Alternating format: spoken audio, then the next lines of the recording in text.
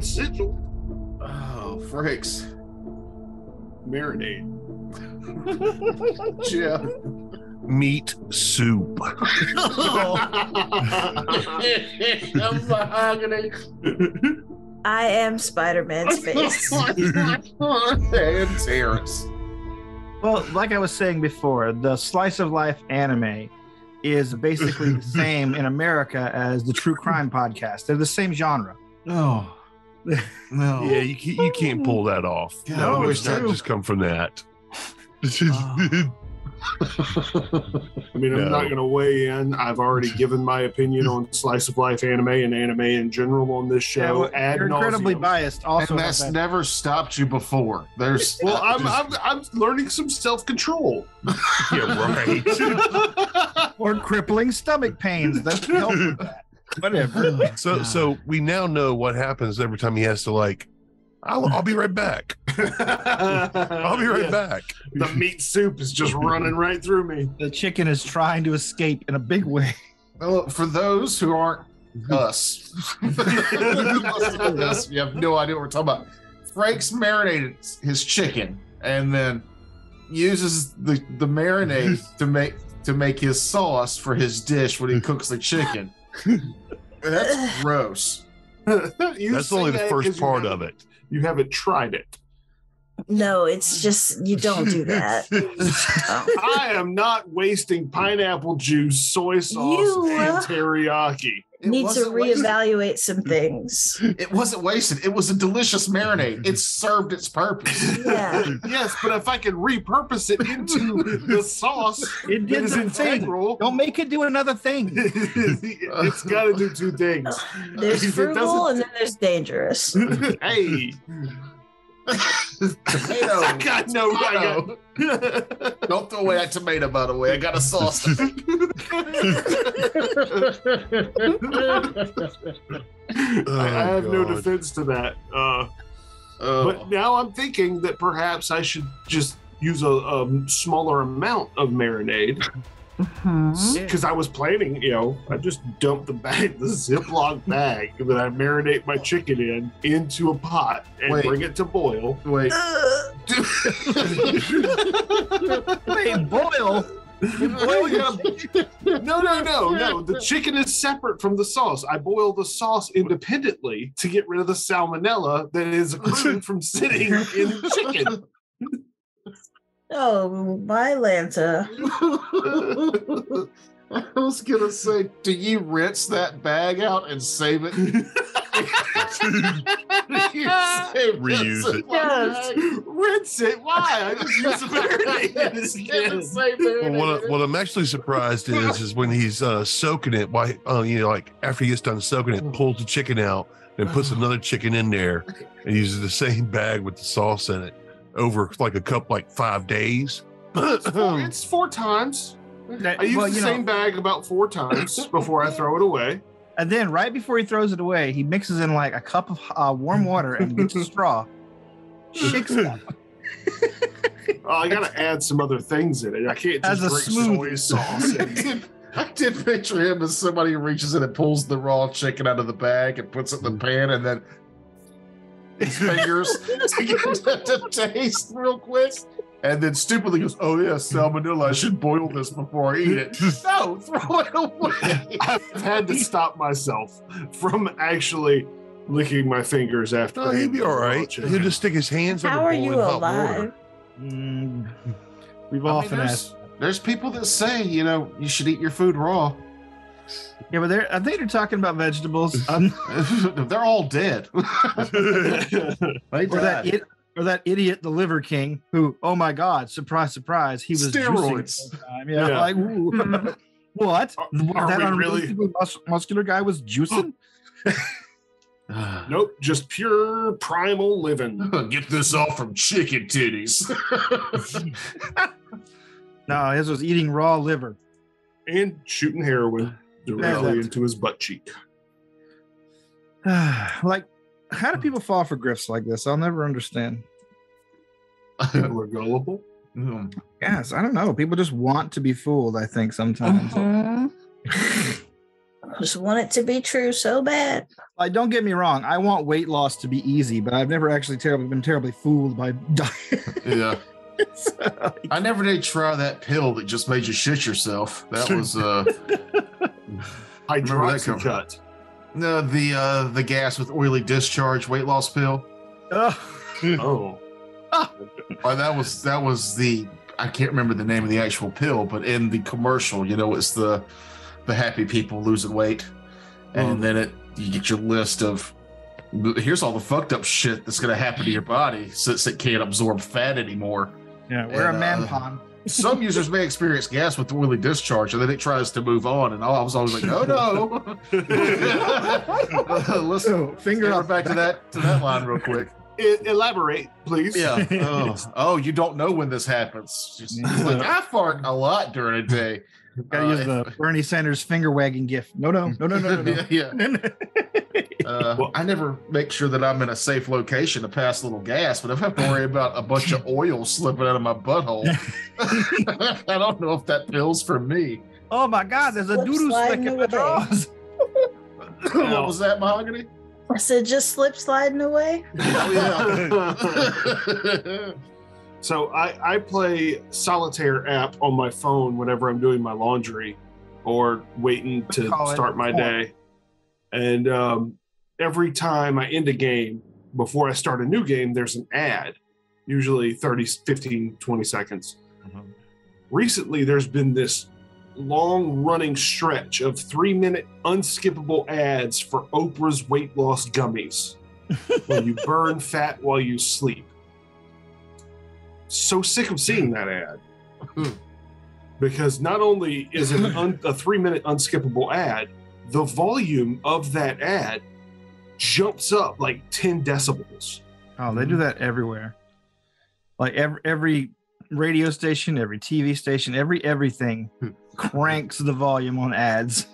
Well, when I was uh, working at the radio station, my my first gig was uh, where I got to produce. Was I would go to shows, and after the shows, sometimes during the shows, I would shove a microphone in the drunk people's face and, and ask them, you know, what they thought of the band. I Um, remember that gimmick. yeah, it was called "I Heard They Suck Live," and the, the gimmick was is that they actually didn't, and everybody would talk good about them. And I just ended up talking to a lot of drunk people. My first one, I'd never produced anything before, and uh, and Amy goes, "You need like a hard, like, you know, something to get their attention at the start of the of the segment, so that they're not, you know, if they're in mid conversation or something, they'll stop and and tune into what you're what you're doing real quick." My shit wasn't subtle at all. Bum, bum, bum. She was like, that's a, that's a bit much. Well, it's an attention getter. yeah, well, they're looking. She's like, not that they're looking to, they're not looking for good reasons now. You know what you uh, should have done? You should have just carried a gong Yeah. and then hit the gong with the microphone and then put the microphone in their face. Oh, that sounds painful. Yeah. Yeah. Jesus. Now that was fun. And then the, the morning guy who who's passed away since then, he wanted me to be the guy out on the street that like hassled people, you mm-hmm. know. And I You know, the wouldn't do guy it. thought he was Howard Stern. Yeah, he wanted me to be out there basically attempting to get beat up every morning for his show. And I wouldn't do it. So he never talked to me again. And then he died. People were like, I'm so sorry, you know, Tom Bolt died. And I was like, I'm not.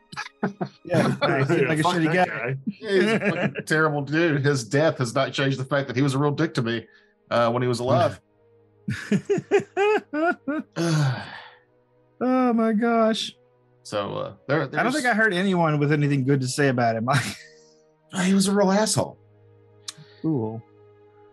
Cool. Just riding the old. I'm a radio DJ. He's where I got the get out your dollar bills and holler if you're horny because uh, radio personalities around here, even back then, definitely didn't make a whole lot of money. So his second job was he was a strip club DJ. Mm. oh, Terrence, what was that laugh? I'm sorry. I'm just I've seen a picture of him. Like there's this he's like anti-horniness aura. yeah, he looks like a strip club DJ. Yeah, I was about to say, have you seen many strip club DJs? They're there because they can't see naked women otherwise. He wore a kilt so that people would have to ask him about his kilt, so he'd have something to talk about. Ah, clothing those- in lieu of personality. yeah. Hmm. Well, clothing as a trap to be abused by the personality. Yeah. Well, when I was uh, first moved out into my own and was able to like make all my own choices, I came to realize I didn't have much of a personality myself. So I attempted the outrageous clothing in lieu of personality. Um, still didn't work. Oh. Well, People what'd could see you right your feather that. blow- boas and giant hats. It was it was velour tiger stripe bowling shirts. Holy. Ooh. Not even joking. Uh, we I had- need pictures. I, I have been asking all my old companions and friends to send me any of the pictures from back then, and they were like, "Nobody took pictures of you." oh, they did. They didn't save them. yeah, the the uh, the loudness of the clothing yeah. overexposed the pictures. Mm. Oh. Oh, that's good. Tri- trilby hats, handcrafted deer antler cane that I carried with me. Oh no, you were. Oh, you were that guy. I was that guy. Yes. Oh. I'm not even sure what that means. I, I had a, a hand carved cane with a deer antler handle that a guy who made those made it for me. Cost me 75 bucks. Um, Some people can pull off a cool cane. I think I met Satan once, uh, and that guy had a cane. I mean, you know, if you're Satan, you may as well. Yeah, I was. Uh, I was going to see Staind at did some Daniel Island thing with um, friend Caroline, and we pulled up in this weird back parking lot because we got there late, so we had to do the, the park in a weird place and walk pretty far.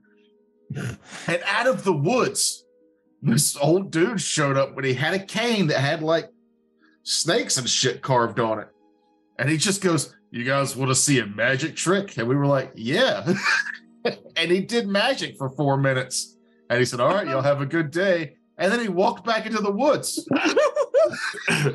what he was waiting for was for you to say, Can you teach me? And he would say, For a price. For a price. Uh, I think he just got lost and he meant to come out of the crossroads, but now he just felt a little embarrassed.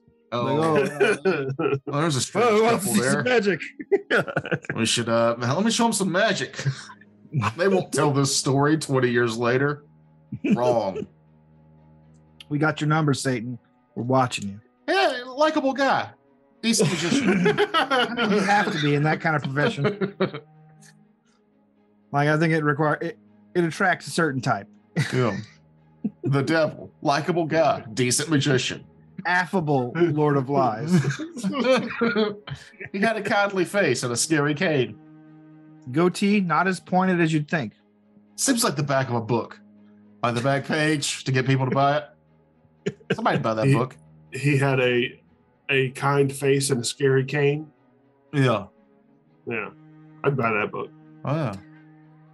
I'm, I'm currently listening again through the Drizzt Do'Urden R.A. Salvatore books. Um, I turned it on, and 20 minutes into it, I was unconscious. So I'm Oh, like, those fight scenes will get you out. this wasn't even a fight scene. They, they were just walking. This And, sounds uh, delightful. It was perfect. It's exactly what I need for my pre sleep audiobook. Pre sleep. My immediately immediately go to sleep audio. yeah, yeah. My Let Me Tune Out the Sounds of the Ghetto Oh. audiobook. I listened to a Miss Marple audio.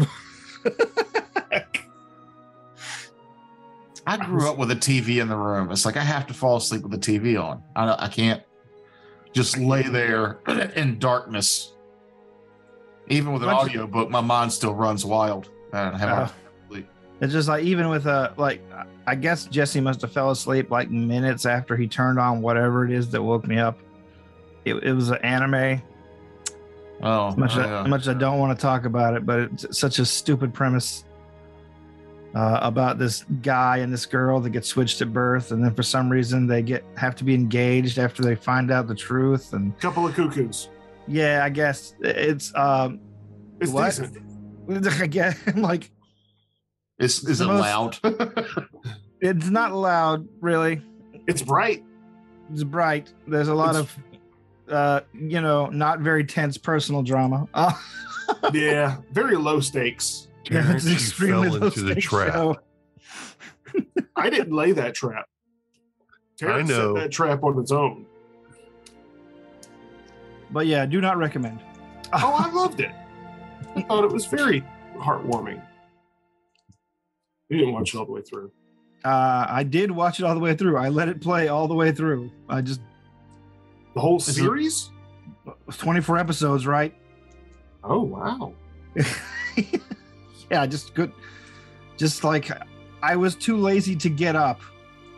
For 24 episodes? Yeah, Well, that's you know, 12 hours. Yeah, almost 12 hours. I might have skipped a few episodes while falling back asleep, but Hmm. uh, it doesn't seem to change much between episodes after the initial cast is introduced. Um, so yeah, I mean, you, you probably missed the number one ranking uh, student and him had a rivalry. And No, I she saw would only part. go out with him if he beat her 10 Yeah, I saw- times. yeah, I saw that part. Huh, okay. Yeah. You didn't make any time for those three episodes of Willow that are out, huh? No, I totally forgot. Also, Jesse was sleeping on the controller. Uh, That is really the main reason why I couldn't turn it. Move. Why are you so nice to your husband and so mean to the rest of us? Because someone has to absorb that blow. With the his rest anus. of the world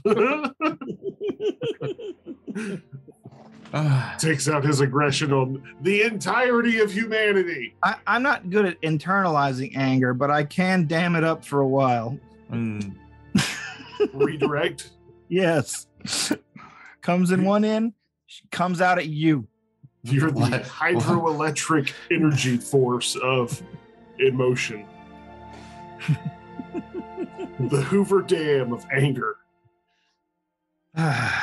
yep, my house is entirely powered by it. Okay, so where do we live off? I was hoping I would remember through all this this banter, but uh, I don't. We're in Okay. Sigil. I know we're in Yeah. Sigil. we had gotten to Sigil That's and we had exactly done where we're left very off. little. That's what happened. We Yeah. made it to Sigil. We did episode 100. Now we're just you know regular old 101. Yep, now you're gonna learn a lesson. What's that? I don't College know. course 101. Uh, yeah. fucking what it sounds like when the guy brings a metal cup with ice in it to uh, audio recording. and doesn't Uh, wear earphones. I've been doing it uh this Yeah, long. We've we've noticed. it's part of our audioscape now. It's it's it's it's a it's a Raiders of the Lark trope now. See? The echoing Yeah. feedback. Yeah, the echoing feedback, the uh the the the clanking glasses, the me telling incredibly not landy jokes. Um you grossing us out somehow every fucking week. I don't get it. Was that a general you, or was that directed at Frakes and his It was marinade specifically sauce? directed at Frakes. Oh, the marinade sauce. Oh, okay, okay. Yeah, I was like, how did I fucking gross you out this week? Oh, right.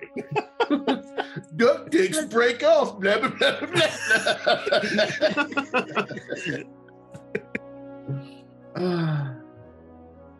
so we're in Um, Sigil. Yeah, you're in Sigil. S- Stuff happens. Uh, there's a fight, and um, see you next session. No, uh, Oh, last time we ended up in Sigil. yeah, that was the end. yeah. Okay, so you arrive in a filthy back alley of Sigil after saying goodbye to Marcus, the man cat, cat man, whatever. Hmm. The the, The middle aged Catman do. the middle aged cat boy. He looks like someone who would listen to that song for sure Hmm? and sing it out loud. Catmandu. Don't know what you're talking about. It's a song. Catmandu. I thought it was a Is that- city. Is that Bob Seger? That might be Bob Seger. Who knows what Bob Seger sings? I night grew up around a lot of drugs. I don't. I I'm don't know. 70. I don't know any, any Bob Seger songs. But just movie references from before that time. I, I'm a cinephile. I'm not an audiophile. It's different. You know. It is Bob Seger. Mm. All right. It's great. Cat Stevens. But, huh? Cat Stevens also sang Catmandu. No, he sang Kathmandu.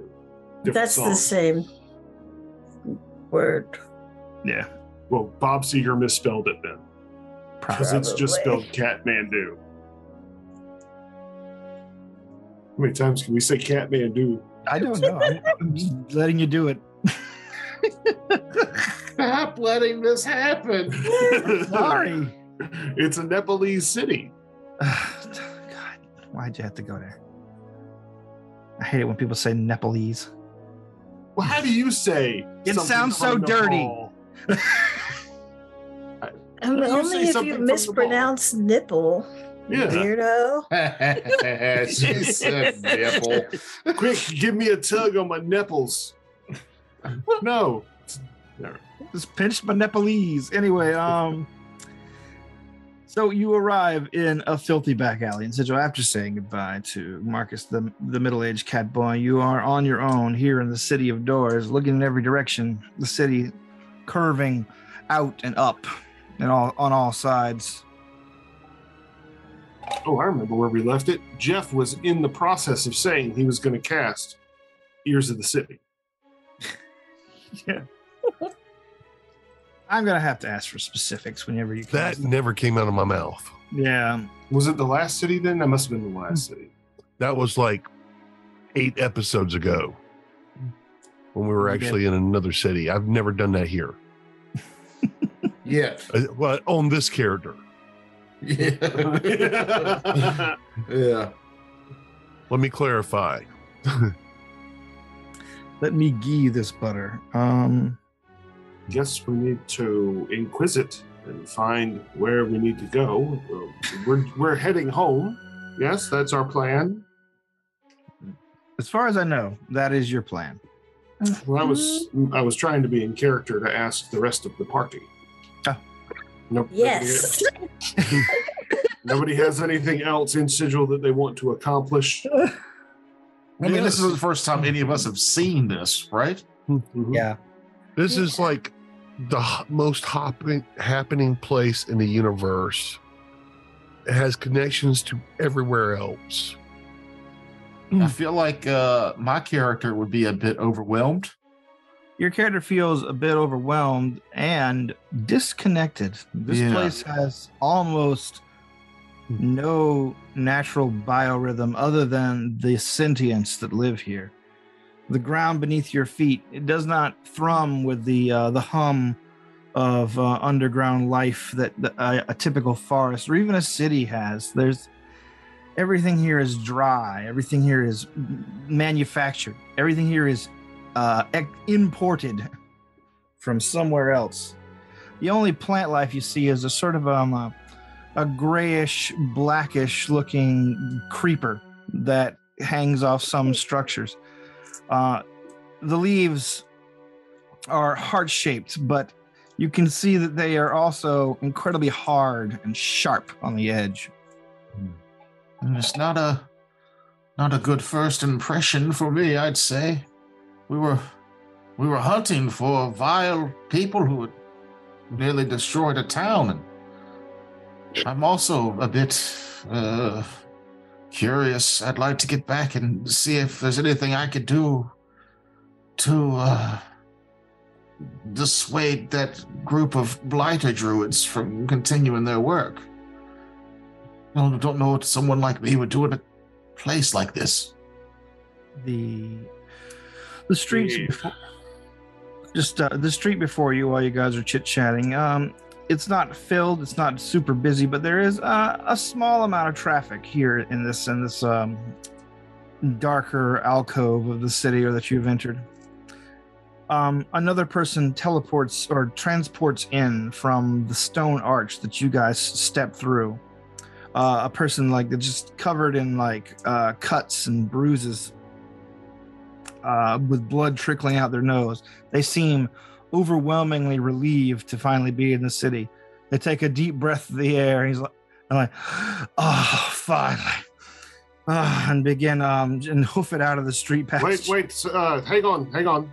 I ain't got no money. He turns around. No money. I will offer to heal you with it for free. Out of the goodness of my heart. What's your You seem- angle? You seem incredibly wounded. Yeah. I, I Apparently, healer- some idiot walked through the portal there and riled up the crowd with some sort of bloody music. And whenever he left, whatever spell he cast on him broke, and they got real mad. Oh, well, then you'd be happy to know that this man here owes you this healing already. Then what kind of monster would do such a thing?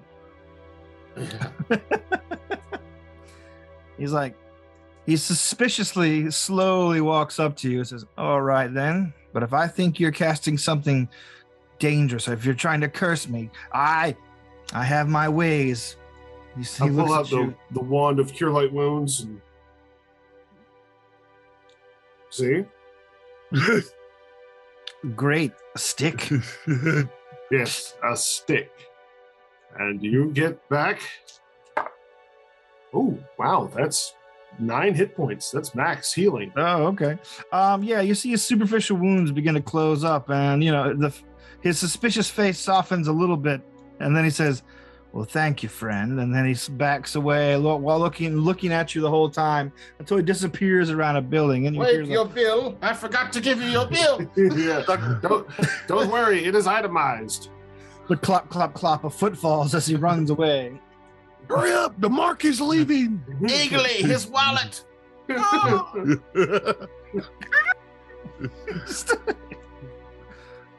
Eagle comes back just carrying the whole pants. Um, Base pants. Face pants. Uh, so yes, but the street this guy is running down is like moderately, somewhat busy. Like it's got like a few carts going down it. It's got some foot traffic. This place, this part of town, you're guessing is not that great. Everyone seems to have the strange, stra- same strange, suspicious air about them. Look at which way there seems to be the flow of traffic. Uh, Hmm. it seems to be coming from both ways, but mostly it seems to be coming from, um, I guess, the left. Leftward. 'Cause I'm kind of thinking like you know, like when you go into the um going into any major city and stuff, the flow of traffic, you can kind of notice the main routes. You'll see people going back and forth on the main routes, and Not Jacksonville. goes- You see more people coming from the left, but they are less uh, energetic. It looks like mostly workers coming home from uh, a long day. Does there seem to be a place uh, visitor going center. towards a marketplace?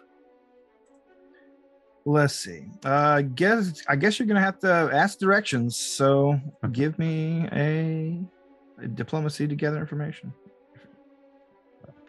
Jeff Oh, cast this- ears of the city. You hear that there's a marketplace.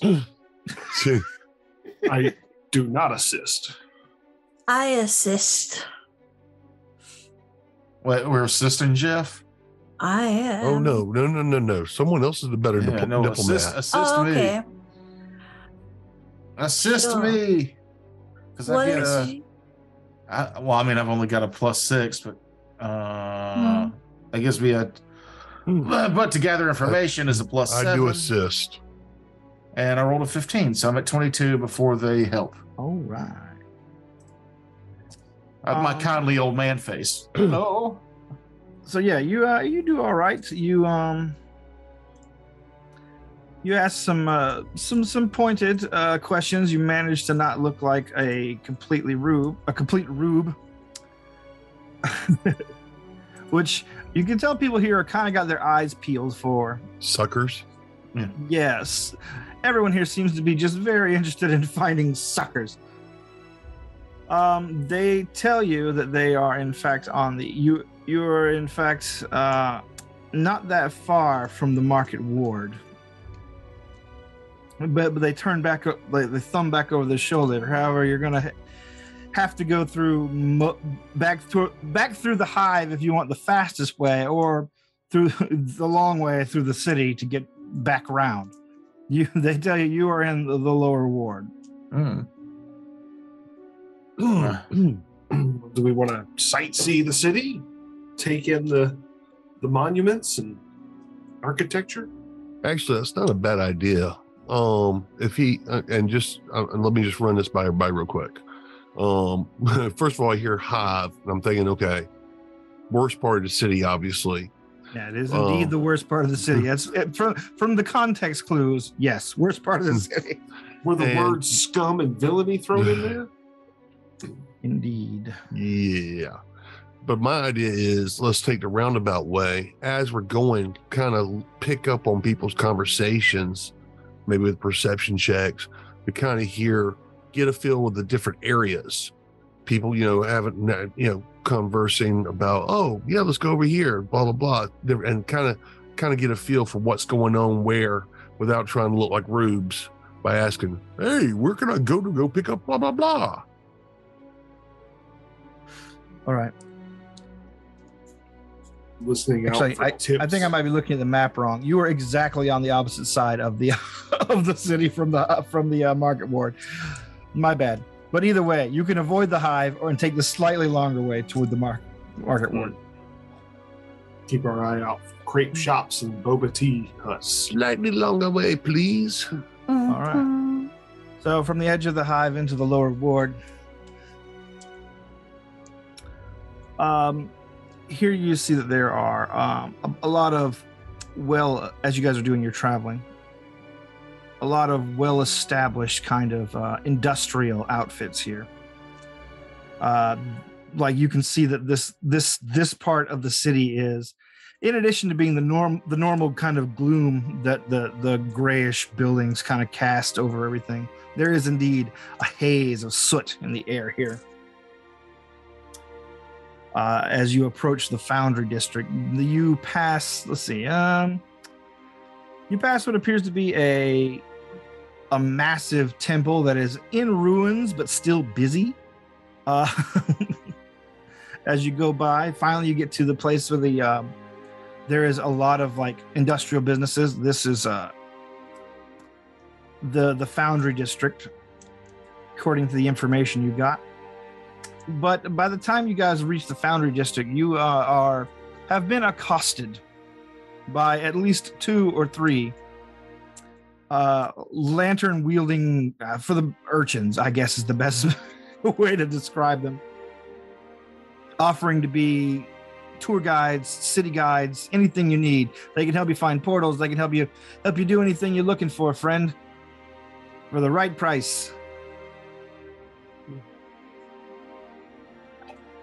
You can strike out on your own, or you can take advantage of one of these touts. Um, We we know that it's all a big circle. Yeah. so we can just keep walking straight to avoid having to pay out urchins unless both board wants Well, to. it's a it's a circle, but it's a pretty wide circle. Like it's, it's Yeah. a at the you're like the inside of a tire. Well, I, I think I think we should walk. We should just walk it and sightsee at first, right, to get a feel for the place, and maybe come across uh, a place that we might want. Because I, I guess we're pretty well rested, right? The the voyage here was Yeah, well, beside that last like kind of um, desperate march through the border, uh, the gate town. all right.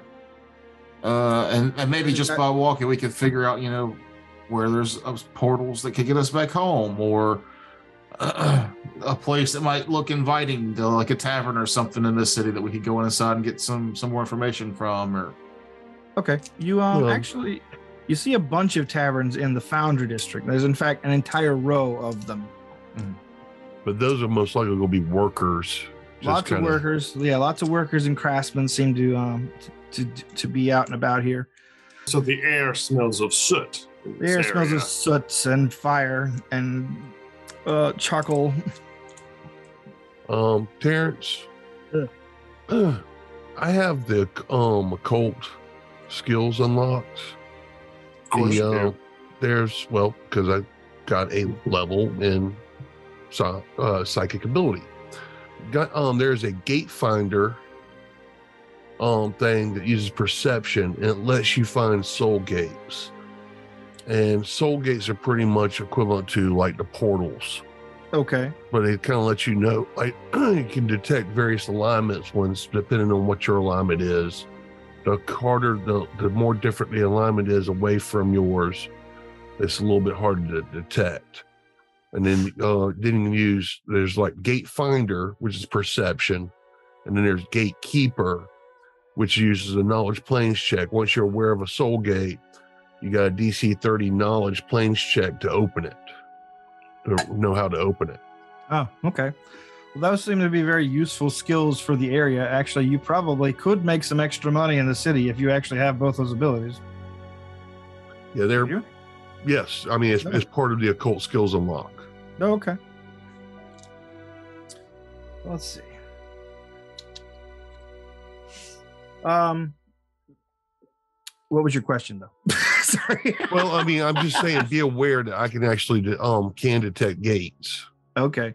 Well, there's a lot of gates here, and you can see that, like, along the way, you uh, see some gates advertised. You see some people um, going into small little businesses or, or stalls, and occasionally you'll see someone like just buying information. Like, there seems to be a a brisk trade in the knowledge about the gates as they move open and close around the city. Uh, let's see. You you realize pretty quickly that your gate is fairly narrowly defined. You're you guys are looking for a, a, a very specific patch of the material plane which is by your own planar knowledge enormous. Right. almost infinite. And Right, because the material plane encompasses the entire universe. Yes. Of like physical material. yeah Hmm. every star every planet the So we're gonna have a very difficult time finding our way back home. yeah luckily you're very it's very rare to find a portal that leads to open void in the on the material plane portals tend to crop up around magic and magic seems to be centered largely on habited habited planets so Uh, I just wanted you to know that I can do that so that while we're going forward, because I'm, I'm still saying we're going towards the marketplace. okay That seems to be the better place to go. We'd find more stuff there.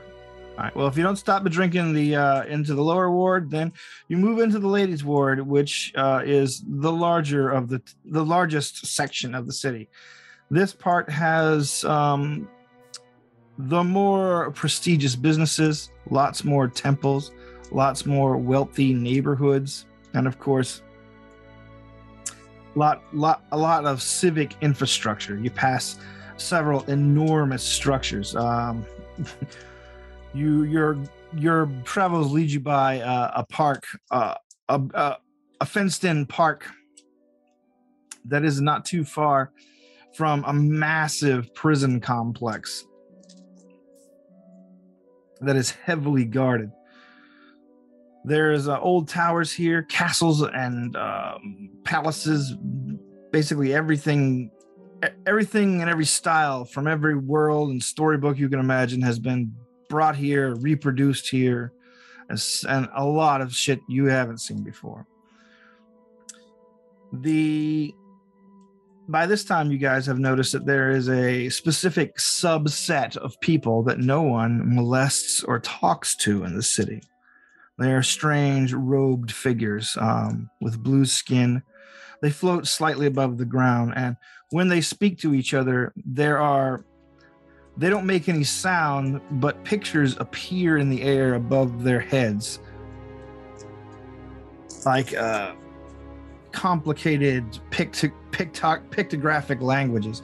And they seem to be in charge of like maintaining stuff. You see them repairing roads, uh, patching walls. You see them occasionally uh, tearing down buildings and um, blocking off streets. Like they're, they're everywhere here in the city. They keep to themselves and everyone leaves them alone. Let's go bother them. no, uh, I imagine it's got to be very difficult to whisper when your Mhm. whole form of communication is visual language above your head? Um, you're guessing that they they don't really have too much problem. Like you actually, you can figure out what they're saying to each other, but it takes a minute. Like their language is entirely representational. Everything is a picture puzzle.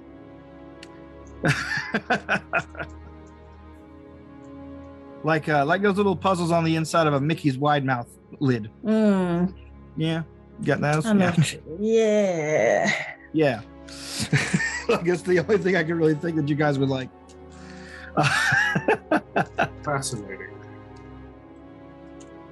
but yeah, you move through the prestigious parts of the city. Like again, here they uh the you get there are less overtures for your business because you guys are scruffy adventurer types, and most everyone here is extremely well dressed. As you move into the nobles districts. And finally, after uh, hours of walking, you arrive at the Great Bazaar, uh, a place, a marketplace beyond compare, beyond your imagination. Dozens of city block blocks large, and that's just where you can tell it is from your your standpoint.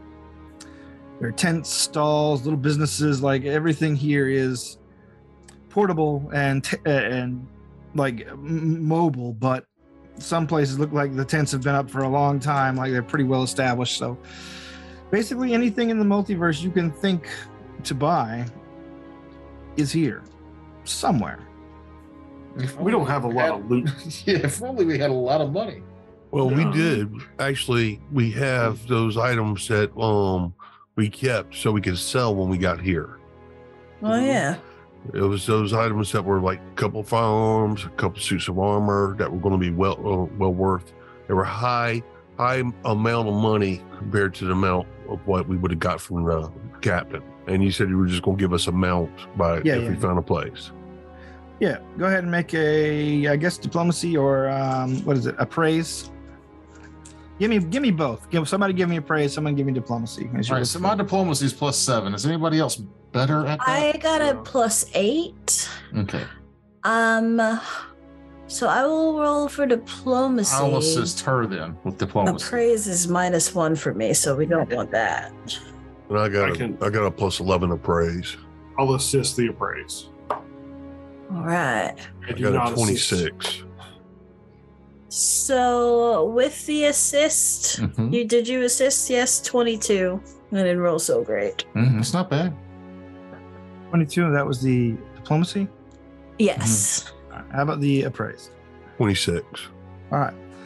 Okay, so you guys begin moving through the stalls. You find a place where the um, weapons are busily being traded, and uh, weapons and armor and things are busily, busily being traded. And after shopping around for a little while and bargaining pretty hard, you guys come away with um, an additional eight thousand gold from the high quality uh, items, high quality and rare items that you have managed to sneak aboard, sneak into sigil with. Ooh, 8,000 each. No, Oh. Two thousand each. Okay. I, I know that at some point in time there'll be four villains here that don't know what to do with all their money, and we just take their money. You guys are a little early. It's, it's a lot like those old video games where you have your one character, like high a stash. s- a stash in the world for your new character to go get. Or like in Warcraft, you used to just mail stuff. Yeah. No. Uh, I remember how you got my bank alt. You have to. You used to have to do it in EverQuest. Is you like uh, get your items that you want to drop trade to your alt. You have to find like a, a very un untrafficked location in the city. Drop a bag on the ground. Log out, re log back in as the character you want to have it, and hope nobody stole it between then and there. Oh man, it was shit. that's intense. That requires planning. You got to make sure that both your characters are in the same area. Yeah, you mm-hmm. gotta you had to get the one that was receiving in the area you were dropping off. but yes, All right, so we got some gold. you got some gold. Yes, I would like to go shopping. All right, you go shopping. The market doesn't seem to close. You find Nice. There's there's no day and night really here in Sigil, so far as like hard like hard times. Uh, everyone seems to be on their own shift work or their own Aw. schedule. Like some areas, like the light seems to dim sometimes, but it's never terribly consistent. So the night the night market here so far is called the night market because it's mostly dimmer. So, quick question: trying to track information down from where the, to either seek the portal we're getting out of here, or, uh, I mean, it's going to cost us money, or a favor. Mm. So the, the question here is, are we willing to kind of look for work that might, because I don't know how much it's going to cost for us to track down our portal to get back out of here. So we might need to kind of find a, um, what do they call it? People, to, um, information broker. Kind of find an information broker that might be able to get us where we want, but it's probably not going to be cheap. So I don't know if we want to spend all our money right now until we find out what it's going to cost, or are we willing to trade a favor to get that information? Well, go ahead and give me uh, another diplomacy check for gathering information on your own bef- to find out where we need to go or what your options are. Okay. Well, that's not me. What what are you rolling? Uh, Diplomacy. diplomacy, gather information. Ugh. word. Uh, that's better. If somebody wants to, I can give a let's- plus two. I All right, also so that's you also. give a plus two. All right. So that is a twenty-nine then. All right. Um, very motivated. Uh, you find Ryan has quickly insinuated herself into the local gossip scene over the course of your journey in the day. Working that knowledge, nobility, gossip scene, gossip rags. and you find out, yeah, you have basically three avenues to pursue. You can um,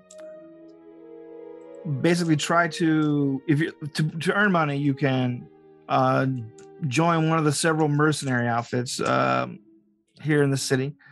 Uh, they're usually independent and work uh, either in and out of the city, doing places, uh, doing doing tasks for money. Uh, it is the quickest one to join and probably the most steady pay from what you can tell. Option two if you have money, you can look for an information broker and they will basically use their web of contacts and informants to find what you're looking for as far as the portal you're seeking. And option three, you see that there is um, a very big pavilion in the in, in the uh, in, the market ward where there are young upstart guilds. They call themselves adventuring guilds, but that it looks like they're trying to avoid the stigma of working for the more cutthroat kind of mercenary work. They are looking for people to join in and basically uh, support their network of some of them refer to themselves as heroes some of them refer to themselves as treasure hunters some of them refer to themselves as explorers but there's a lot of little bit of little little little outfits like that then you're guessing this is probably the the longest route to take that won't that but but probably won't leave you destitute by the end I like not being destitute. hmm And I like the idea that they're not just strict mercenaries. Because there's a difference between a mercenary that's willing to work for anybody that's willing to pay them. And then there's adventurers, if you're kind of looking at it from a heroic point of view, they can actually choose what quest that they would like to take. And I mean, if that's the route we go, that might be a better route. Yeah. I was going to feet. choose option three because you used the word pavilion and it sounded fancy. in in my mind, mercenaries tend to mean soldiers for hire, like an actual warfare is what my mind thinks of with mercenaries. So it's like, yeah, I don't want to be in somebody else's war. You know, that's how you lose a limb. I, I like the adventuring treasure hunter kind of vibe more so. So let's let's kind of go over that way and kind of listen in to get a feel for the different groups, and then we'll see which ones we think fit our morals and ethics. All right. Morals and ethics. After going over like just the general like vibe of all all around, you seem the you find the three most popular and most probably well established are um, the three guilds that are most well established and have the most representation and probably aren't scams because you're guessing some of them scams. oh yeah, Uh, absolutely. Uh, the Order of the Sacred Map, which seems to be focused on planar cartography in specific, like they are. You're guessing that they're probably the information gathering arm for some other uh, planar organization, or maybe just sell what they find to several planar organizations. Uh, the second guild is called the Candle in the Dark, which seems to be focused entirely on altruistic kind of work. They are uh they are basically you can tell just from their bearing how they behave around each other and of course the religious symbols that they wear are mostly good aligned folks uh that are trying to to to, to combat evil across the planes the best they can And the Monster third- hunters. well, maybe, uh, but mostly that they they appear to be like they're there to to battle evil in all its forms. Mhm. Uh, and the third one is called the Questman Guild. The Questman Guild is basically adventurers for hire, but on, um, but they they are they aren't entirely like uh, mercenary. They they vet their their missions. They they tell you they tell you they're not going to send you on anything that is a death sentence. They're not going to send you on anything It's going to violate your morals. They are here to make sure to match the right team to the right quest. Which one of those, out of between the Candle in the Dark and the Questman Guild, seems to have the most like uh monstery hunting extermination kind of vibe to them? Because that's what I'm drawn to. Okay, that would probably be that would probably be the candle in the dark. You see, you could tell there's a few seasoned monster hunters among them. Um, they are largely a guild with older people involved, or, or, or rather, extremely much older people or very young people. Like the the the the the, uh, the uh, where the idealisms are generally the strongest. like Mhm. Yeah, Brian would probably be attracted to that group. The More. Questmen seem to have more money on hand, so it looks like they they vet not only for like the appropriate skill or necessary uh, qualifications and whatnot, but it all it looks like they might vet for um, quality of treasure as well. The the wealthiest looking of the three is the Order of the Sacred Map, which you're guessing are get a lot of outside funding. And that kind of strikes me as a bit of a neutral organization, as in they'll sell their information that their adventurers collect to just about anybody. Um, if you ask them about it, they tell you that no, they ha- they they vet who they sell to very quickly, and it's very specifically, and it's always to uh, libraries and other cartography organizations uh, Okay. with interest in archiving. But that's not really an answer. you you you know Right. this. Yeah, libraries doesn't mean the same thing. They're, they they seem to be idealistic, but in that very specific kind of bibliophile, bibliophilic exploration. Like they think this stuff has to be explored, and Mhm. All secrets must be uncovered. all secrets must be known. Um, I know Ryan said basically voiced my same opinion that the candle in the dark kind of fits with us better. Right. So that's two votes for that. But Wolfboard and Wraith, what are your thoughts? I can go with either one. I'm kind of leaning more so for the quest guys, but it's whichever. It's decided then. All right. So you're going for the candle in the dark guild. Mm-hmm. Yes. All right. Well, wait, wait, wait. Do they have a portfolio of, of accomplished missions that we can flip through to as like a promotional video or some sort of PowerPoint that will tell us, you know, more about them as a company? You Or have that board. right? there are brochures. Ooh. or bards singing their praise for what but they've yeah, more likely, more likely it has somebody like a bard telling tales and singing praises, and if that that seems to be the pitch, all the pitchmen seem to be very skilled in that direction. I was asking if you personally, Terrence, put together a PowerPoint for each one of these so that we can have be more informed. I'll get Noob working on it. Don't, no. it would just be a confusion of genital measuring. No, so uh candle in the dark. All right, you guys head over to the Candle in the Dark after doing a little bit of shopping around, and they are uh, eager to see you, and you can tell that they have people scoping you guys out as you come to sign up. Um, someone that clearly has the magical abilities, and they're not very shy about it. If they're using a power to detect your alignment, they do not pretend like it's not happening. They uh, they they cast the spell and check you out. The person gives the nod for your group, Hmm. and then you are ushered into basically the the sign up area. um, Um, I, we- I we stare at them. And we didn't get any information about how much it might cost to find our portal, did we? no, not yet. But hey, Well, maybe you- maybe with them we'll find it. Uh, there we go.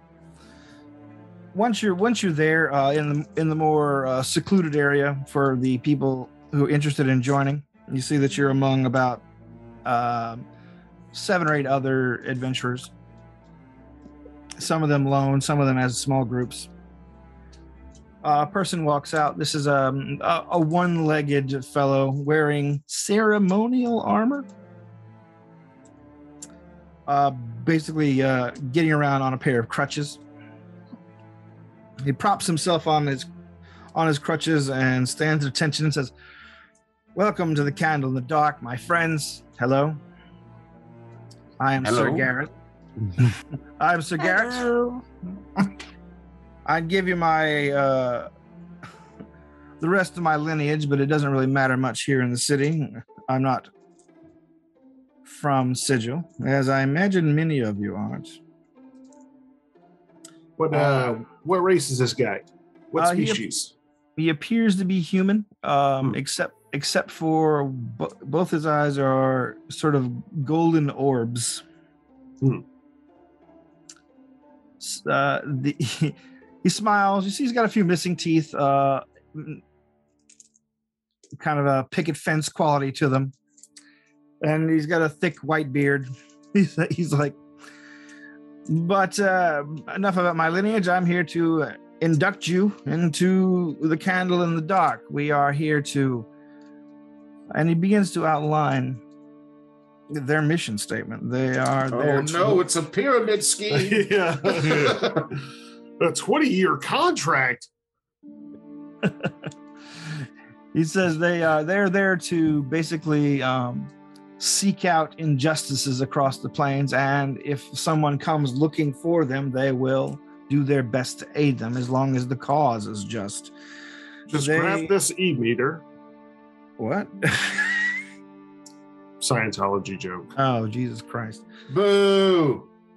Boo! Boo! Sorry. Ooh, this man. Boo! This man. Jesus, I didn't realize we had so many Scientology sympathizers in this window. One of Anyway, us. One of us. Um, Sir Garrett says uh, we have but one oath here, and that is to do our best to aid the cause of righteousness. I'm not going to ask you to say it out loud. There's no one here that will enforce it except for the person sitting in your seat. We find it. we do have one law, however. If you come under, if you come under our banner and begin besper- besmirching our name, we will come for you. we have nothing but our reputation, and I hope you understand that. So, if you're still interested in joining up, the book is over there. Sign in. and uh, we'll get you some accommodations if you need them. Because uh, he looks around, he looks around, his eyes settling on you guys. Like, I'm getting a strong feeling some of you aren't from around here. On this plane, we're all homeless. Uh, the people, Something like that. uh, several people get up and uh, head towards the table with the uh, the very large book in it. Uh, a couple people think for a moment and then leave. Uh, what are you guys doing? I guess uh, looking around, taking the feel of the rest of us. We should go sign, sign Uh, in, and I was told there'd be concessions. There where's no my concessions. Sprite sherbet punch? Nobody said there'd be concessions, but I believed there would be concessions. I was led to believe by my own thoughts that there would be refreshments. I imagined there would be pie. Yeah, I I mean- every business meeting. We've made the decision. Might as well just sign the book. yeah. and get a place to stay. Okay, uh, you guys sign up, and those of those who, after everyone has stay either left or signed, Sir Garrett says, "Welcome to the Candle in the Dark." Um, he reaches, he hobbles over to the table beside the book, and he pulls out a little wooden box, and he uh, says, you want anybody here need accommodations?" I raise Yes. my hand. Yes, please. We would. All right, and you, uh, you're not the only ones. Uh, a couple, a few, another group of three also raise their hand. And he says, Whew, "Okay." Aha, other hobos. Stre- stretching the coffers this evening. Uh, Do-gooder hobos. he he smiles as he hands out um, a set of keys to each. He's like, it, he he hands out a he has a pile of keys. Like um, he says, "All right, uh, all right, who's together with who? I'm on my own. You're on your own. Are you not with these people? I mean, I'm with them, but I would really, really, really just like one night on my own. Oh Not- no, no, we don't do bunks. We got we actually have accommodations for everyone. Excellent. We now I can't I can't claim claim they're super glorious or anything, but there are enough rooms in any given location. So he pulls out a smaller book and begins thumbing through it and says, "Ah, here you go."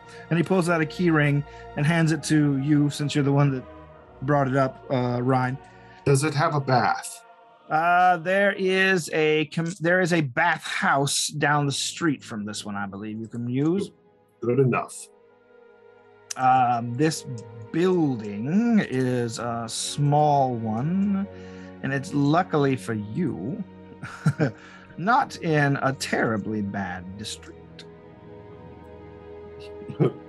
ah, I says, imagine terribly bad districts will are where we're going to end up more often than not. That is who needs the light the most. Yes. You know, you're not wrong, and I respect you for understanding. But you're gonna have to double back through the city. Uh, you'll be staying in the lower ward, probably on the edge of the hive. Um, hmm. The, neighborhood grade- doesn't look that bad as long as you go when it's dark and you can't see the neighborhood. the gray district. You'll be oh, you'll be over near the mortuary, but it's pretty close to central. Um, I hope you don't mind the smell of smoke. Some mortuary that cuts corners, huh? yeah. Oh no, Hope no, you likes barbecue. it's in the lower ward, so there's the smell of smoke almost everywhere. but this is a um, this is a very secure location. It's got iron wi- iron shod windows and a very sturdy door. Here you go. Ah, like my apartment, minus the That- sturdy door. It has six uh, rooms, and we may send a couple of extra as we get them. Be on the lookout for that, but don't worry. we will send a someone with one of our uh, one of our tabards to know that they are on the up and up. It's like a fantasy Airbnb. So, He's like- will we be getting tabards, or will we just be getting like little little sigil things that we pin on coats or something like that? He's like, the choice is yours. We have both. I'll take a sigil thing, a All pin. right. Absolutely. Sometimes you don't want to go barging in with your colors flying. I'll wear a uh, tabard. Oh, very well. I'll take a sigil. You'll want to splash a color where you're staying. Um, What's the tabard made out of? Could it also double as a nice warm cloak for an old man? well, let's see. We have we have we only really have tabards in um big folk sizes, but it would basically become a robe if you built it in the right place. I'll take a sigil. Okay. it's like good man. Uh, what is what is the tabard? The, the emblem. Um, it is A basically a, candle in the dark. it is basically a candle uh, with uh, rays shining out of the top on a circular black field. Hmm. It's a man walking down a beach, but there are two sets of footprints behind him. But when the beach gets rough, there's only one set. oh. He he he says, "Now uh, I'll have one of our folks guide you there. If you um, since I you're, you're new to the city, aren't you? Just arrived today. Ah, well, we caught you early. Good. This place can wear you down. Be careful of that. I do feel, in the uh, spirit of uh, transparency, that we should tell you that it's, we're mainly focused on finding a portal home. Ah. Well, we're always interested in having members um, on permanently stationed on other planes, if that's something you're interested in doing. Does, is your world uh, particularly uh, filled with evil?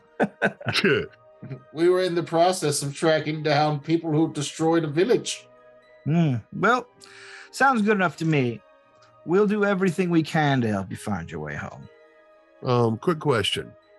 Um, since we're new to this city, do y'all have some kind of like a primer on welcome to Sigil? Here's what you need to know so you don't look like a rube for everybody Sigil else. for rubes. Here's a He says- I'll, I'll send one of the local rounds, the locals round, one of our locals round to give you the heads up on things. Very much appreciated.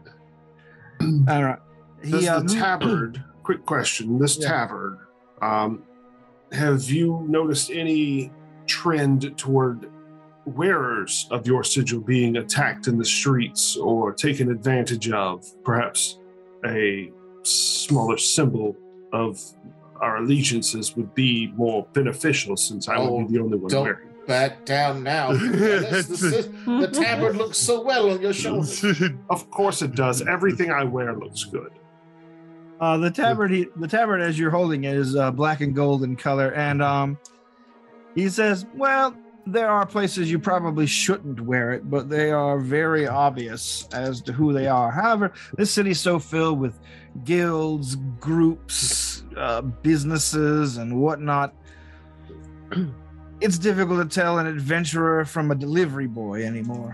Hmm. Why does was- that look like a? When you look at the symbol, it looks like a target with an arrow stuck into it, like the ray of light's an arrow being stuck into this target. Hmm. Hmm, that's kind of convincing. I never noticed that before, he says with an unconvincing voice. I do like the color scheme though. Black and gold is is nice. It's a good color. And stay away from that other tavern called a bonfire in the daytime. Yeah. All right. So Did you after- say barn fire or bonfire? bonfire. Okay, because I was like barn fire. Now, either Doesn't even one. make sense. Yeah. that- Sorry, my brain is. Yes, eating all that marinades. and- All that Five wet day meat. marinated chicken. You've got botulism in the brain. um, sorry. So yes, after the after you guys get your tabards, your your badges, and the keys, of course, he tells you to wait while he goes and finds someone to, to take you along at. But before that, he sets up the other group with their dwelling. oh, they're not staying with us. Uh no, there are three of them, and there's only two extra rooms. Now they can. He asked them if any of them are willing to double up, and they say yes. So that would really be up to you. If you want a second, smaller adventure group living next with you guys, they're they're more than happy to share. Doesn't bother me. Very well. I mean, is this a, Then, this uh, is a temporary residence for us then? Yes, it's uh, mostly there so you can um, settle in, get what, learn what you can. We'll learn more about you and set you up for some missions. Just so y'all know, I don't wear clothes on Wednesdays. It's definitely an Airbnb, not an extended stay. Yeah, he says, uh, ideally, you're going to be off uh, out of the city pretty soon.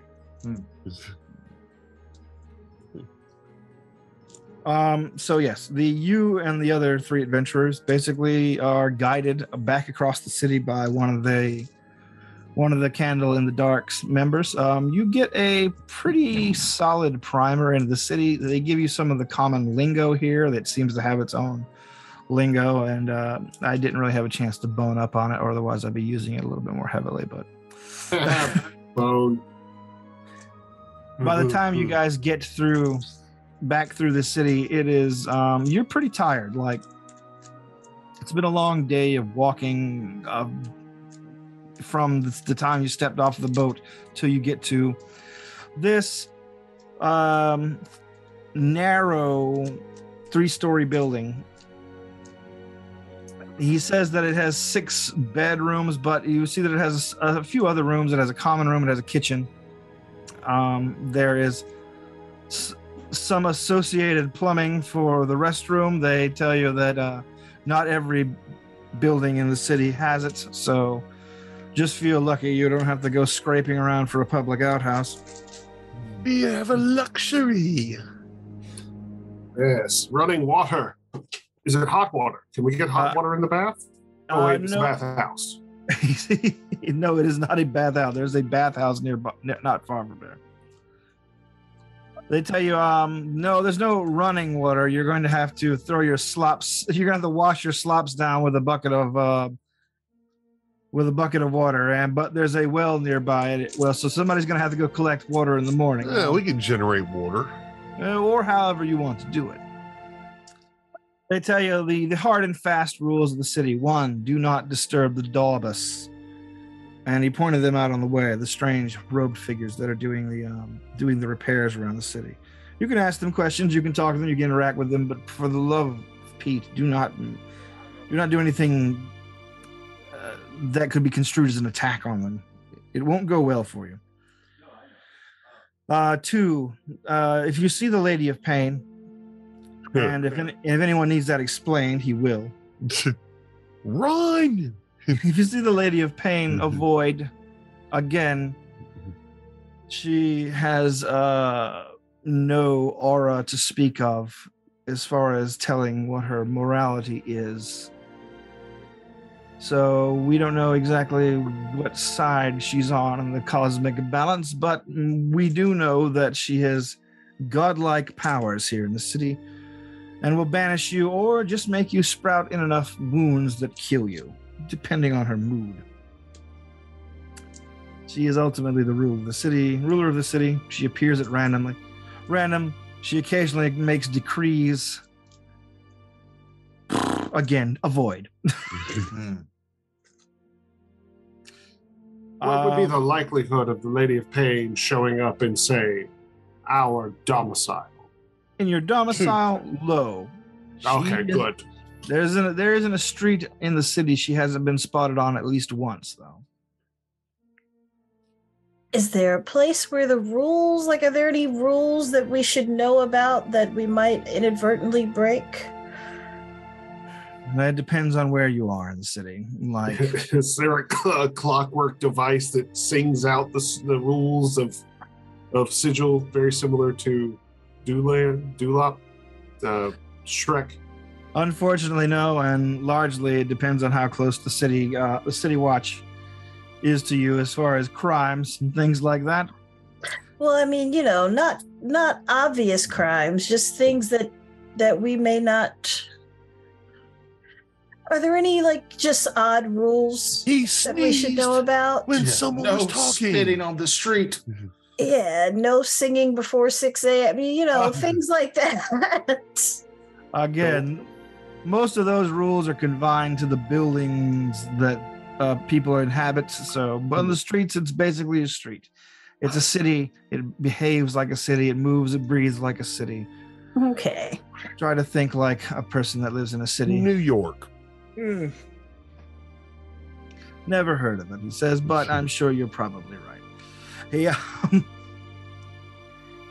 he says, uh, I we're kind of a poor guild, so we don't really keep a lot of food on hand on our properties. There might be some dried beans in a in a pot somewhere if you need to cook something tonight. However, you're probably gonna have to go out looking for food to bring back here to stock it up. Uh, we're in the market. I wouldn't. no, you're not in the market. Oh, I thought this was in the market area. No, you walked way back across the city toward the uh, the lower ward. Yeah, basically where we started. You're back almost where you started. Oh, I thought we were still Yeah. talking to him. Yeah, no, this is the person that, that takes you takes, takes you there. Oh, Boy, I wish that had been mentioned before we left the market. No, no, he was telling you this. He's telling you this shit on the way. So if you need to stop, Oh, you yeah. Yeah. Yeah. We'll get some rice and some beans and some lizard carcasses. He says, um, "We have a meeting every three days at our central guild hall that we have, and we will send a carriage around to collect the seven of you." Um, nice. it's just it beats it beats basically trying to find everyone that's why we put them up if we can otherwise who knows where people end up in the gutter.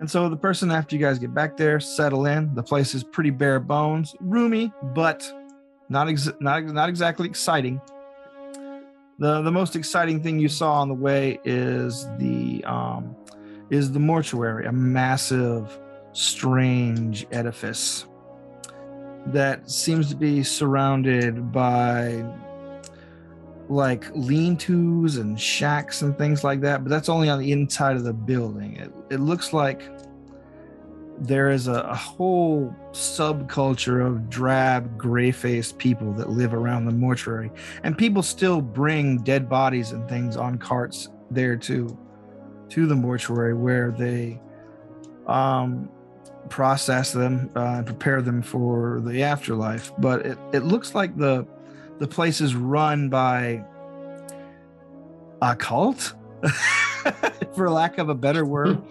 Your guide tells you that those those used to be the Dustmen, one of the factions that ruled the city. But after the uh, Lady of Pain banned all the factions after that big war they had a while back, they never actually left. They just kept doing the job because they like it, I guess. but if you die in sigil, chances are they're going to get their hands on you eventually. That's ominous sounding. when can we expect our first job? He says, "Give us a few days. We're still doing. We're still in an active recruiting phase, and we want to make sure we get at least two more days under our belt." You will be doling out jobs or offering them in three days when we pick you up. And so from that, he vanishes out the door and into the city. Uh, leaving you and the other uh, other small group of adventurers there to settle in, pick rooms, and prepare whatever meals you guys bought. And um, we'll pick up from there three days later. and play some icebreaker games. Oh yeah, so then no. you Trust find fall. You find a strange uh, beige-looking box on a disused shelf. Scrawled on top is the the, the word Munchkin, and uh, underneath "Do not play." Oh, that just automatically draws me in. Oh, I lied. I, I do want to socialize. Let's play this beautiful game. It is a game where you have to, uh, via collecting the collecting and trading of cards, accrue the largest number of halflings to be the winner. Uh, kind Oh, of it's, a, racist. it's a slavery game. I, I see. don't. I don't like that game. No rules against cheating, though. So you know you can count yourself if you're a halfling. I still don't like that game. There's very problematic connotations to that. Let's see how good of friends we all are. Let's play Munchkin and see if we still talk afterwards. Oh gosh. Uh, Scott was telling like one of the customers about the loudest game ever played at his store, and he, he claims it is us playing Munchkin. Well, duh. Kevin was Well, at the table.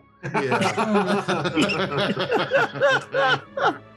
Just by virtue of decibel Right. usage alone. Yeah. I have a hard time believing that because as many games they've had people there playing uh Magic the Gathering. oh yeah. Well, Magic the Gathering is always a dull roar because there's so many people playing it when they have events. But like Yeah. the We run it on loudest a quiet Wednesday. Game, yeah. We're also in the back next to the bathroom. Well, he claimed he could hear us out front. yeah. Kevin's at that Uh, table. Ki- yeah. And he gets very excited during games of Munchkin, as we all do. I don't. I I, I don't. I'm very calm. Oh, I come shut up, Jeff. Your, your excitement is about it. palpable. You taste it. You vibrate with energy. It- well, that's true. I, I kick try over the keep- door. You're like, calm down, Jeff. We have to say this every turn. All right, Kevin, what do you? Oh, kick over the door. that was pretty good, Kevin.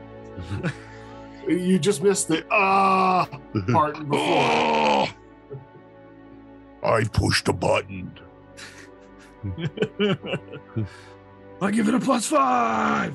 All right. Um. Anyway, so yeah, next time, uh, I swear, actual adventure. This was really adventurous. We sight saw, we signed up for a guild, we got a place to sleep. Well, we had to set it up so for the next part of it because I mean we could mindlessly kept going around Sigil doing crap. Doing crap until you got in trouble. Well, I was waiting for one of those uh, side adventures to kick off where a random NPC walks up and goes, You look like hardy adventurers. My wife's family sword was stolen by a bunch of planar ogres. well, I was waiting for that too. I was waiting for as we went around the city, half the city. I was waiting. It's like this is the perfect time for him to just have someone. Hey, y'all look like perfectly good people. Go, I need y'all's help. Never happened. Then we get around to the marketplace. And it's like, Yeah, man. okay, this is left to us. You know how many times I've wandered around cities and nobody's ever once asked me for an adventure? Every time I've wandered Every around time, the city, yeah. Uh, except for be that devil I met. Go to Atlanta and walk from one end, uh, one street to the next, and they'll go, "Hey, can I have a cigarette?" And I go, "You can if you do this adventure for me." No, no, no. I don't want them to ask me. I must accomplish these three tasks. No, no, no. I'm not trying to give out quests. I want to be asked on a quest. I'm gonna, I'm gonna, I'm gonna, I'm gonna, I'm gonna make everything a quest if someone asks me questions. From yeah. Can I have answer these riddles Well, three. absolutely. Yeah. But you need to do these three things first. But first, I need you to decipher this treasure map. I do the First- shitty. I do the shitty Bilbo. You know, like what's in my pocket? And They're like, "Can I get a cigarette?" And I'm like, "Sure you can." What's my name? And If you- it's the simplest name on the planet to know, and nobody's John? ever gotten it. I think the next time somebody comes up and asks me for some spare change, I'll be like, Mhm. first, I need you to raid the graveyard and destroy the undead that are crawling from the ground.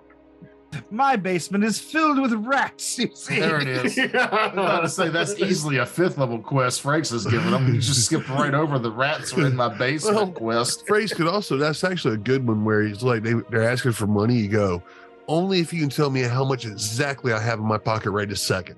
Oh, like, What's in let's my make a deal. Just, Uh, just I, I, I like to prompt somebody to go into an extremely dangerous situation. I need you to go wedgie that cop, and then I'll give you a. For the price a- of one small misdemeanor. I'd feel real bad if I got someone killed over a cigarette, especially since I don't smoke. well, I will, get, I will give you free room and board.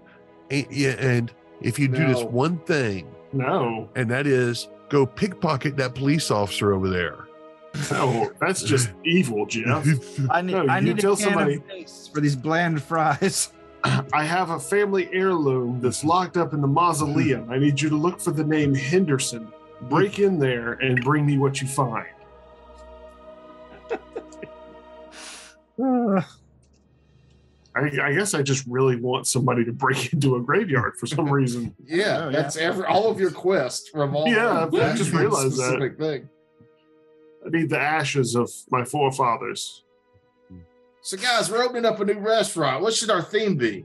It should Mausoleum. somehow involve breaking into a graveyard to get pizza. that's a that's a pretty cool gimmick, actually. You have to Where you go get through the a haunted from? house.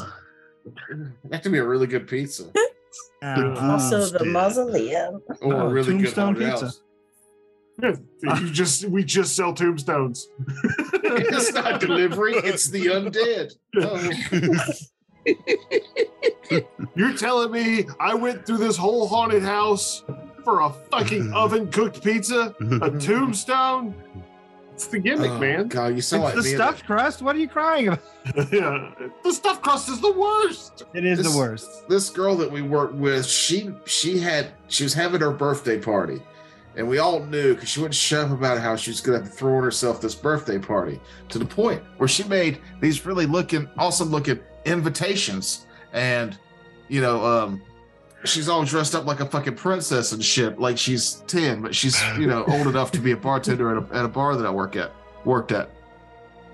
Ooh. So we show up thinking that this birthday party is gonna be like, you know, the house is gonna be it's gonna be like walking into a whole magical world. Nope. it was a whole I think I've told world, this I'm story on here before. She had one fucking Totino's pizza. Like that was the food. I was so mad. Spent all their budget on costuming. I was like, just let me know to eat beforehand. You said there'd be food here, not your leftovers. There So will be food at my party. Food. Who splits the anybody. Totino's? Not me. Is that my pizza? Or is this for everybody? Because if it's for everybody, I'm not eating any of it. That's just Yeah, a tease. If your What? whole pizza can fit on a single plate, Yeah. Why did Why did Totino's go into that weird rectangular shape? It's upsetting No, me. I'm very mad upset. about it. like I like it where the cheese pools in the middle of one of those pizzas. That's not good for that pooling. Anyway. No.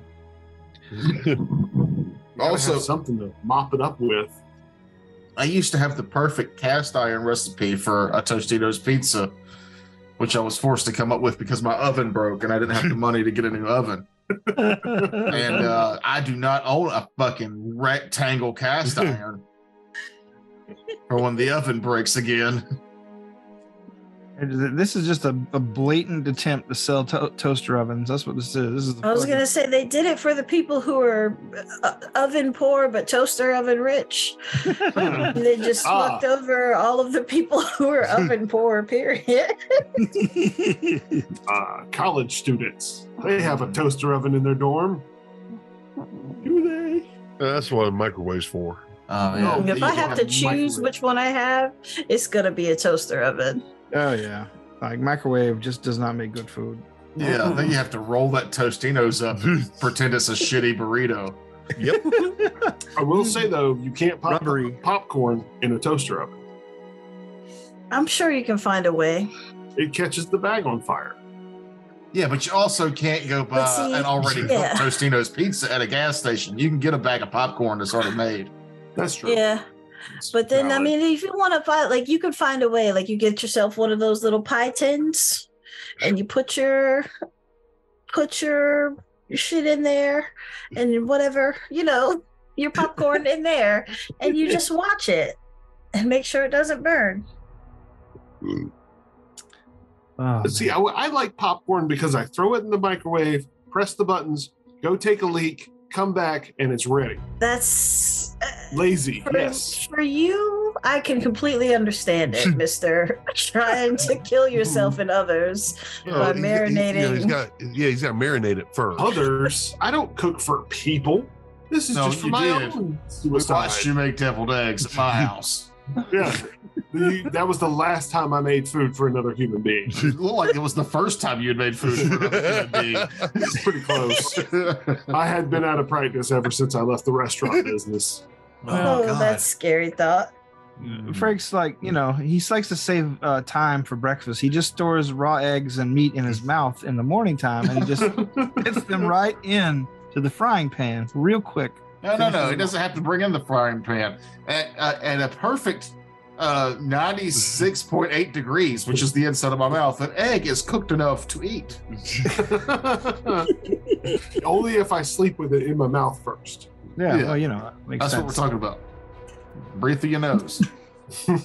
Deep happen eggs. Oh, That's a really weird Dr. Seuss book. Blowing huge egg bubbles out of his nostril. Gross. and we did it. All right, yes, Episode 101. We got back to gross. back. We're in the good books now. Finish the show off. Okay, bye. Thanks.